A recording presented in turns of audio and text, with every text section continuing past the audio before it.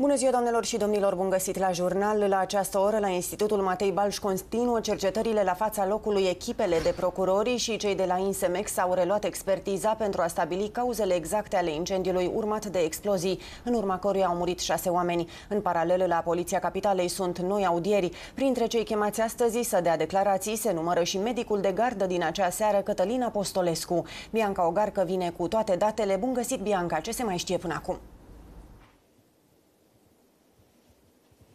Bun găsit, este a doua zi de cercetare la fața locului amănunțită aici la Institutul Matei Balș din capitală. De altfel, încă de dimineață au venit aici polițiști, criminaliști, pentru a, uh, dar și procurori, pentru a uh, ridica uh, noi probe în acest caz și nu numai. Sunt verificate serviciile de apărare contra incendiilor, dar și cele de mentenanță a instalațiilor electrice. Ei bine, în paralel continuă și audierile în acest caz la Serviciul Omoruri din cadrul Poliției Capitalei de mai bine de două ore se află acolo în fața anchetatorilor medicul Cătălin Apostolescu. Este medicul ce se afla uh, de gardă în noaptea în care a izbucnit uh, incendiul uh, la Matei Balș. De altfel, au fost audieri și ieri atunci când au fost, când au venit în fața anchetatorilor șase persoane, vorbim uh, de uh, cadre medicale, rude ale pacienților, dar și uh, personal administrativ. Nu au fost făcute foarte multe declarații, o asistentă însă a declarat că în seara tragediei nu era căldură în spital, însă cu toate acestea, în salonul în care a izbucnit incendiu, incendiul nu se afla nicio aerotermă. În primul rând avem uh, nevoie de câteva măsuri urgente în fiecare spital pentru ca tragedii precum cea de la Matei Balș, respectiv de la Piatra Neamț și din alte spitale din țară să nu se mai întâmple. Lucrăm deja cu Inspectoratul General pentru Situații de Urgență la măsuri urgente care care să, care să vină să repare neregulile constatate deja. Săptămâna viitoare, marți, vom avea un raport care să prezinte stadiul măsurilor luate de la raportul din noiembrie, de la controlele din luna noiembrie anului 2020. Lucrăm deja de câteva săptămâni la realizarea unui serviciu de informare la nivelul fiecărui spital, pentru că dramele din primul mandat al lui Voiculescu se repetă și acum, ministrul vrea înființarea unui fond național pentru siguranța pacienților în spitale, destinat investițiilor, dar și combaterii infecțiilor nosocomiale. A treia măsură pe care aș vrea să o anunț astăzi, după ce am discutat acest lucru deja cu premierul, este un fond național pentru siguranța pacienților în spitale. Avem la dispoziție bani europeni, prin Programul Național de Redresare și Reziliență. Avem de asemenea bani naționali, pe care, bani din bugetul național, pe care îi vom uh, aloca pentru acest scop. Iar noi ne vom asigura că aceștia sunt folosiți prioritar pentru îmbunătățirea urgentă a infrastructurii de siguranță în spitale. Ne referim, ne referim aici în special la securitatea la incendii, de asemenea securitatea la cutremure, și nu în ultimul rând a unul dintre marii criminali în sistemul sanitar din România, și anume infecțiile nosocomiale.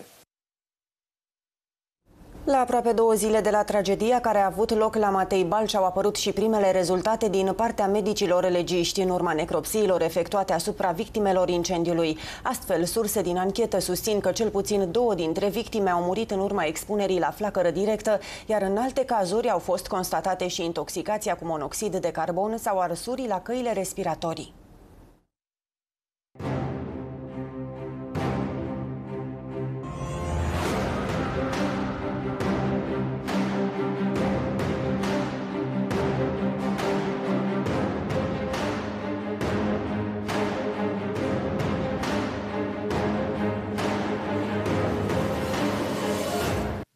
Cel puțin doi dintre bărbații care au murit în incendiul de la Matei Balș au fost expuși la flacără directă. arată primele date din cadrul necropsiei.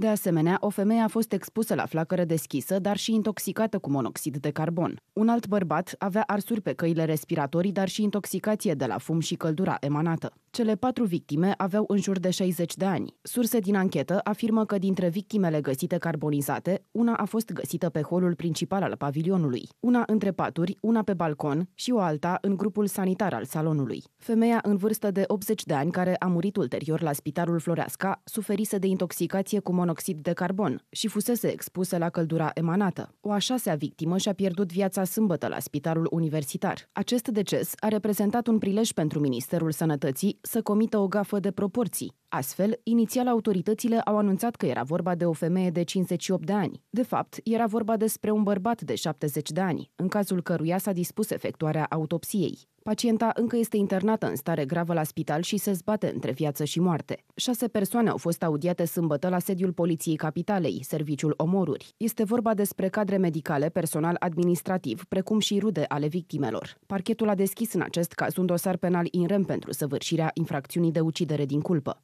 De asemenea, o echipă mixtă formată din procurori, polițiști, criminaliști și specialiști de la Insemex Petroșani vor continua cercetările la fața locului. Aceștia trebuie să stabilească de la ce a pornit focul din salonul groazei. Iar după ce a anunțat că nu își dă demisia din funcție, ministrul sănătății cheamă pe reprezentanții AUR la discuții. E un protest pur politic făcut de un partid politic uh, care are de livrat mesaje politice. Dacă orice om din țara asta vrea să fie de folos sau vrea să împreună să, să, să discutăm ceva anume sau vor să-mi scrie, de asemenea, dacă vor să vină la o discuție, sigur că...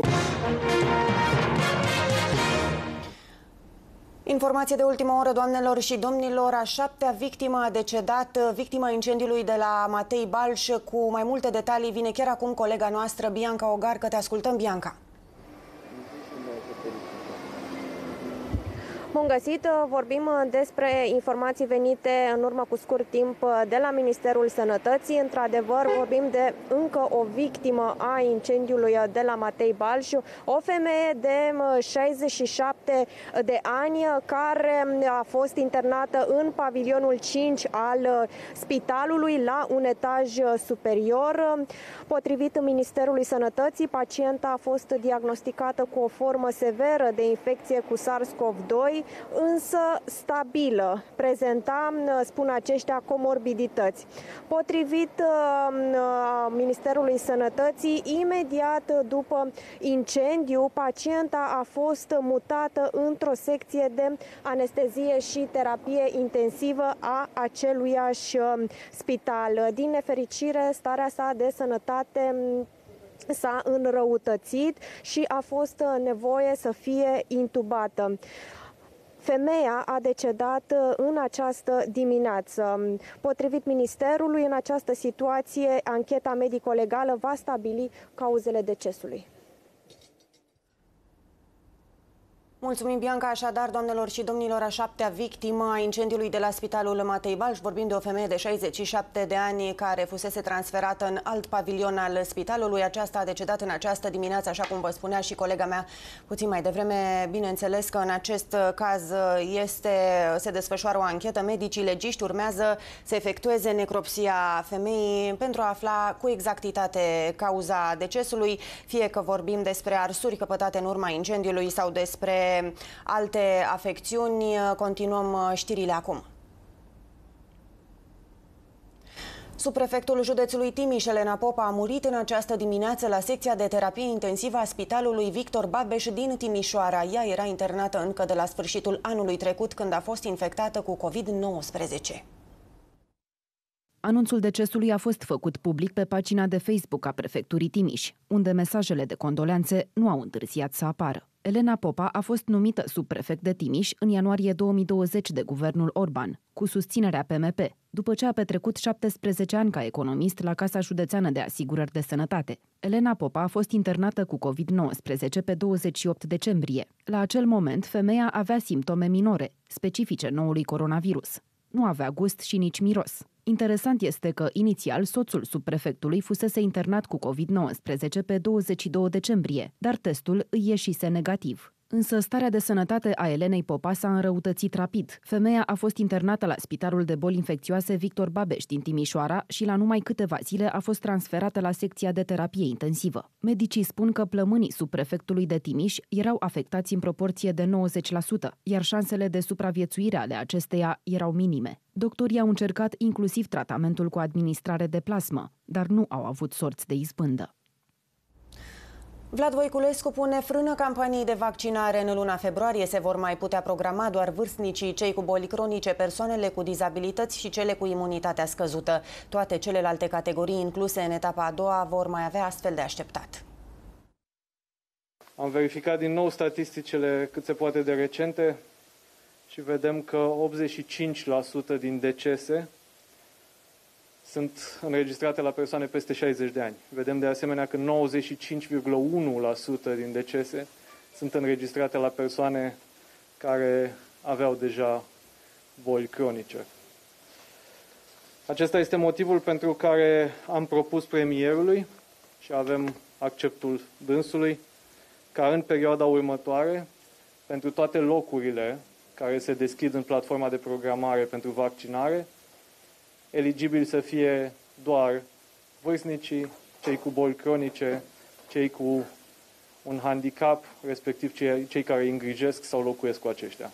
Voiculescu a precizat că măsura nu îi va afecta pe cei programați deja la vaccinare și nici pe cei programați la rapel. Nu este nicio schimbare în legătură cu cei care au fost uh, reprogramați. Repet, vorbim despre programări noi. Deci tot ce înseamnă programare nouă pe luna februarie, de acolo de, pe, pe, pe parcursul întregii luni februarie, va merge către, uh, către cei uh, vârstnici, către cei bolnavi uh, și către cei cu un grad de handicap, respectiv cu imunitatea scăzută. Măsura vine în contextul în care autoritățile au amânat deja vaccinarea pentru zeci de mii de oameni deja programați din cauza lipsei vaccinurilor. Schimbarea strategiei de vaccinare este una dintre cele patru decizii urgente pe care Vlad Voiculescu le-a anunțat în urma incendiului de la Matei Balș, soldat cu șase morți. Valeriu Gheorghiță, coordonatorul campaniei de imunizare, estimează că de la mijlocul lunii aprilie România va reuși să vaccineze 100.000 de persoane pe zi. De asemenea, medicul susține că în septembrie am putea avea deja 10 milioane de oameni vaccinați, inclusiv cu rapel. În ciuda problemelor recente din campania de vaccinare, Valeriu Gheorghiță se arată optimist vom putea atinge din jumătatea a doua a lunii aprilie 100.000 de persoane pe zi, având în vedere că de la acel moment vom putea deschide cele 750 de centre care sunt prevăzute din etapa a doua, centre care prevăd circa 166 de cabinete de vaccinare. Avem o capacitate de vaccinare de peste 100.000 de persoane pe zi. Medicul militar a precizat că astfel, la 1 septembrie, România ar ajunge la 10 milioane de persoane vaccinate, chiar și cu rapel. De asemenea, Gheorghița a mai spus că luna viitoare ar trebui să primim 800.000 de doze de vaccin produs de AstraZeneca și 180.000 de doze de la compania Moderna. În următoarele două săptămâni, alte 163.000 de doze vor fi livrate de Pfizer. Sunt cel puțin 900.000 de persoane noi programate în momentul de față și mai este o listă de așteptare de aproape un milion de persoane. Am avea nevoie de mult mai multe doze, dar cred că trebuie să avem răbdare cu toții, a mai precizat coordonatorul campaniei de vaccinare. Mai mulți bucureșteni ar fi furat haine din câteva magazine din două județe ale țării. Ei au fost arestați în urma unei acțiuni coordonate de polițiști din cadrul mai multor inspectorate județene de poliție și s-au ales acum cu dosare penale.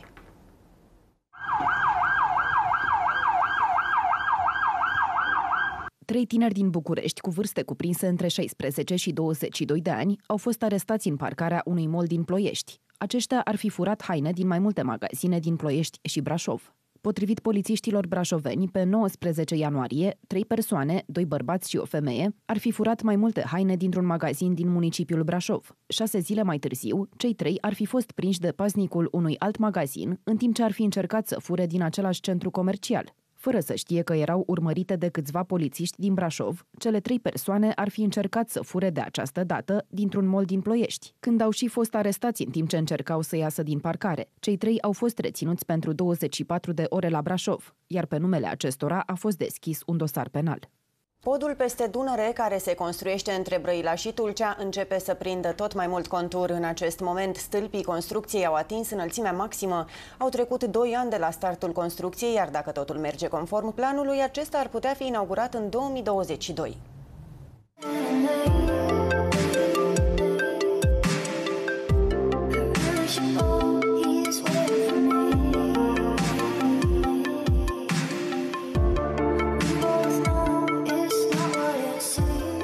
Mai scump pod din România se apropie cu pași repezi de ziua inaugurării. Din imaginile filmate se observă stâlpii foarte înalți care ajung la punctul maxim de 210 metri. Din luna februarie, o companie japoneză va începe lucrările la partea de rulare cabluri și șoseaua propriu-zisă. Pilonii au fost construiți de compania italiană Astaldi.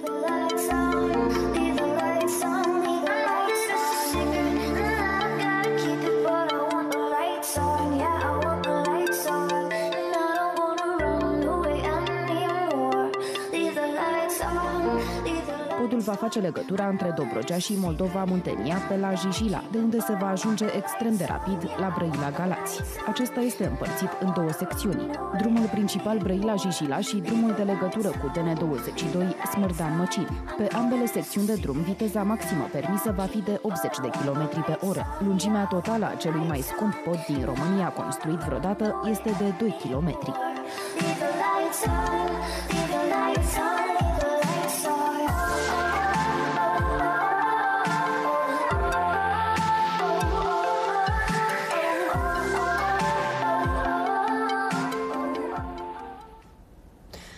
Imagini cu tremurătoare cu momentul în care nava ucraineană care s-a scufundat în urmă cu două săptămâni în Marea Neagră se rupe în două. În urma acestui incident au murit patru marinari. Atenție, urmează imagini șocante.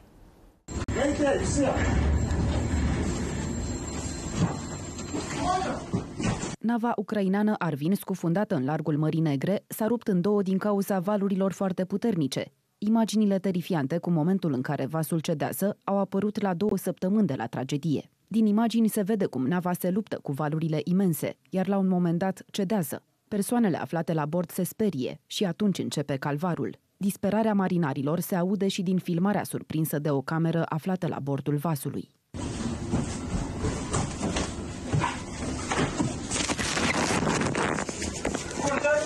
La momentul naufragiului, nava circula din Georgia spre Bulgaria. Echipajul era format din 11 ucraineni și doi ruși. Din păcate, patru dintre aceștia și-au pierdut viața. Israelul, un exemplu pentru toți. Peste 3 milioane de oameni s-au vaccinat împotriva COVID-19, ceea ce reprezintă aproape o treime din populație. Peste 90% dintre cei vaccinați fac parte din categoria de risc cu vârsta de peste 70 de ani. Israelul se confruntă cu al treilea val al pandemiei, iar lockdown-ul impus de autorități, ajuns deja la a patra săptămână, ar trebui să se încheie în această seară.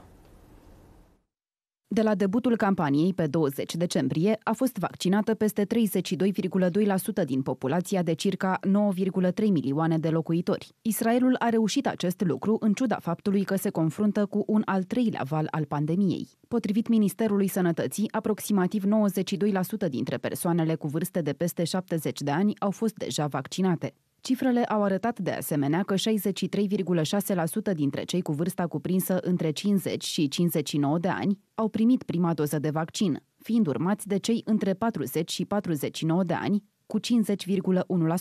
27,9% reprezintă procentul celor vaccinați cu vârsta cuprinsă între 30 și 39 de ani și 22,1% din tinerii între 20 și 29 de ani. Programul israelian de vaccinare în masă a început prin acordarea a două doze de Pfizer-BioNTech lucrătorilor medicali, celor cu vârsta peste 60 de ani și grupurilor cu risc. Vaccinarea este permisă acum și profesorilor de toate vârstele și femeilor însărcinate. De asemenea, mai multe centre de vaccinare au oferit doze de vaccin la sfârșitul fiecărei zile tuturor celor care doresc să se vaccineze pentru a preveni pierderea dozelor suplimentare de vaccin, care trebuie utilizate într-un anumit timp. Conform cifrelor anunțate duminică, numărul total al infectărilor cu coronavirus a ajuns la peste 640.000, dintre care aproximativ 72.000 reprezintă cazuri active. Bilanțul deceselor a crescut la 4745, iar numărul pacienților în stare gravă a scăzut la 1162 de cazuri.